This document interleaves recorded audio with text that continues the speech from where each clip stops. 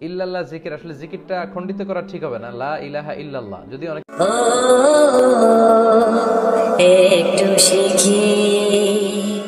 মাঝহাব নিয়ে প্রশ্ন করেছেন। মাঝহাব শব্দের অর্থ মত অপিনিয়ন মানা যাবে কিনা। আসলে আমাদেরকে মানতে হবে কোরআন সুন্না। তবে কোরআন সুন্না মানতে যে অনেক সময় মতামতের দিকে যেতে হয়। আল্লাহ রাসুল কি মত দিয়েছে? সাহাবারা কি মত দিয়েছে? তাবিরা। এটা মানতেই হয়। এছাড়া হয় না। কোরআন এবং সুন্না হচ্ছে খাঁটি সোনা। খেয়াল রাখবেন খাঁটি সোনা দিয়ে গহনা বানানো যায় না। টোয়েন্টি ফোর ক্যারোটের গোল্ড দিয়ে কি গহনা বানানো যায়? যায় না কিন্তু। ওটা দিয়ে গোল্ড বানাতে গেলে ডিজাইন করা যায় না, ওটা ভেঙে যায়। ওটার সাথে খাদ মিশাতে হয়। এই খাদ হচ্ছে মাঝহাব।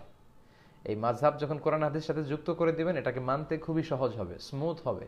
কারণ অনেক বিষয়, আমরা এত পড়াশোনা করেছি, এরপর অনেক বিষয় আমাদেরকে দেখতে হয়। ইমাম শাফির কল কি? ইবনে তাইমিয়ার কল কি? ওনারা কি বলেছেন? তখন ক্লিয়ার হয় যে, ও বিষয়টা এরকম। তো এই জন্য মতামত তখন নিতে হয়, যখন আমরা কোরআন, হাদিসকে ডিপলি বুঝতে চাই।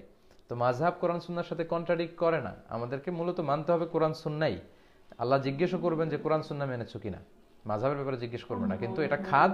খাদ না মিশালে সোনা দিয়ে অলংকার বানানো যায় না। টেস্ট বেবির কথা বলেছেন। এটাকে বলে ইন ভিট্রো ফার্টিলাইজেশন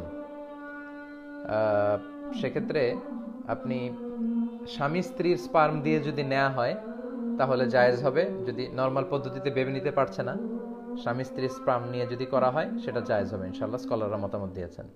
ইল্লাল্লাহ জিকির, আসলে জিকিরটা খণ্ডিত করা ঠিক হবে না, লা ইলাহা ইল্লাল্লাহ। যদি অনেকে বলে ইল্লাল্লাহ দ্বারা লা ইলাহা ইল্লাল্লাহ বোঝানো হয়, তারপর আল্লাহ রাসুল যেহেতু এ জিকির করেনি, আমরা করব না। ভিতের ভিতের তিন রাকাত, পাঁচ রাকাত, সাত রাকাত পড়া যায়, তাহাজ্জুদের পরে পড়বেন, রাতের শেষ সালাদটাকে ভিতরে বানাবেন। এই যে আলু আখরা সালাতিকুম ফিল্লাইলি ভিতরা।